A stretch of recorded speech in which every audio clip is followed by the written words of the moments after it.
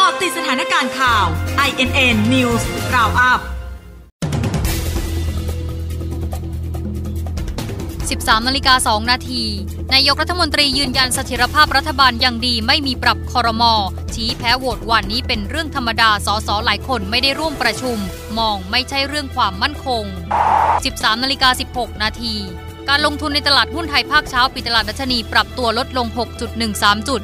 1,601.14 จุด ด้วยมูลค่าการซื้อขาย2707.05 ล้านบาท 13นาฬิกา38 นาที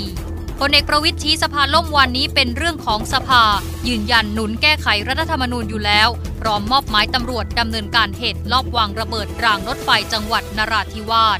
13นาฬิกา47 นาที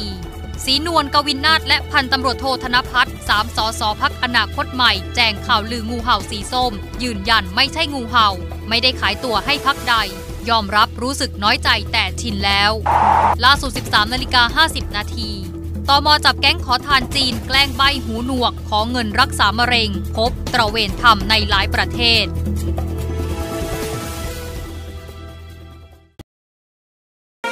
าะติดสถานการณ์ข่าว INN News Roundup